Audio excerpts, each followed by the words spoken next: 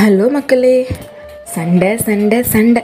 இந்த வீட்டில் எப்போ பார்த்தாலும் சண்டை தான். இந்த சர்ச்சில் சண்டை இந்த தெருவில் சண்டை. ஆள் ஆளுக்கு ஒரு ஒரு மூலையில் இருப்பாங்க.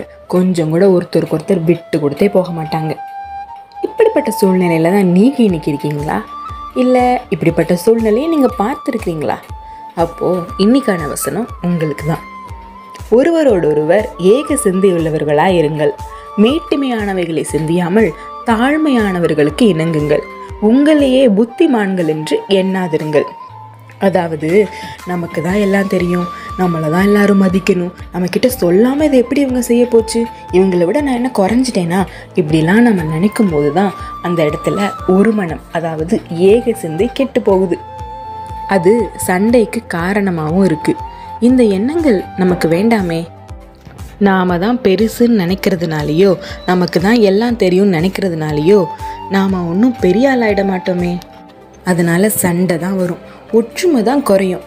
ஒரு இடத்துல ஒற்றுமை இல்லாமல் போகிறது நல்லாவா இருக்குது நாம் இறங்கி போகிறதுனாலையோ விட்டு கொடுத்து போகிறதுனாலையோ கெட்டு போக போகிறது இல்லையே. கொஞ்சம் யோசிங்க. ஓகேவா? பாய். நாளைக்கு சந்திக்கலாம்.